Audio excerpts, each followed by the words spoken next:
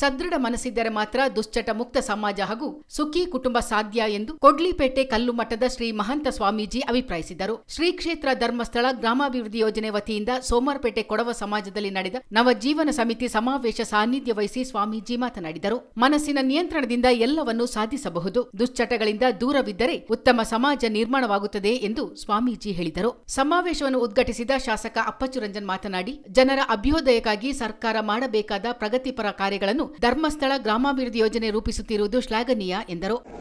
ನೀವು ಇವತ್ತೇನು ಮದ್ಯವನ್ನು ಬಿಟ್ಟಿದ್ದೀರಿ ತಾವು ಯಾವುದೇ ಕಾರಣಕ್ಕೆ ಮದ್ಯವನ್ನು ಮುಟ್ಲೇಬಾರದು.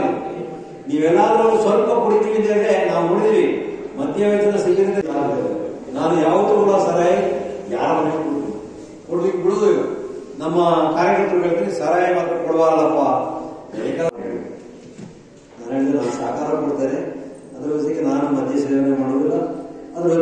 ಜೊತೆಗೆ ನಾನು ಮಾಂಸವನ್ನು ತಿನ್ನೋದಿಲ್ಲ ಮೀನನ್ನು ತಿನ್ನೋದಿಲ್ಲ ನಾನು ಸಸ್ಯಾಹಾರಿ ಅಂತೇನೆ ಅವರಿಗೆ ಆಶ್ಚರ್ಯ ಆಗೋದು ಕೊಡಗಿನಲ್ಲಿ ಇದೇ ವೇಳೆ ವಿವಿಧ ಯೋಜನೆಗಳ ಫಲಾನುಭವಿಗಳಿಗೆ ಸೌಲಭ್ಯಗಳನ್ನು ವಿತರಿಸಲಾಯಿತು. ಜಿಲ್ಲಾ ಜನಜಾಗೃತಿ ಸಮಿತಿ ಮಾಜಿ ಅಧ್ಯಕ್ಷ ಅಭಿಮನ್ಯು ಕುಮಾರ್ ಅಧ್ಯಕ್ಷತೆ ವಹಿಸಿದ್ದರು. ವೇದಿಕೆಯಲ್ಲಿ ಚೌಡ್ಲು ಪಂಚಾಯಿತಿ ಅಧ್ಯಕ್ಷ ಮಹೇಶ್ ತಿಮ್ಮಯ್ಯ, ಅಬಕಾರಿ ನಿರೀಕ್ಷಕ ಲೋಕೇಶ್, ಜಿಲ್ಲಾ ಜನಜಾಗೃತಿ ಸಮಿತಿ ಅಧ್ಯಕ್ಷ ಸತೀಶ್ ಹೊನ್ನವಳ್ಳಿ, ಯೋಜನೆಯ ಜಿಲ್ಲಾ ನಿರ್ದೇಶಕಿ ಲೀಲಾವತಿ, ಜಿಲ್ಲಾ ಕನ್ನಡ ಜಾಗೃತಿ ಸಮಿತಿ ಸದಸ್ಯ ಎಸ್ ಮಹೇಶ್, ತಾಲೂಕು ಯೋಜನಾಧಿಕಾರಿ ರೋಹಿತ್ ಜನಜಾಗೃತಿ ಸಮಿತಿ ಸದಸ್ಯರಾದ ಸೋಮೇಶ್, ಸುರೇಶ್, ಭಗವಾನ್, ಗಿರೀಶ್ ಮತ್ತಿತರರು ಹಾಜರಿದ್ದರು.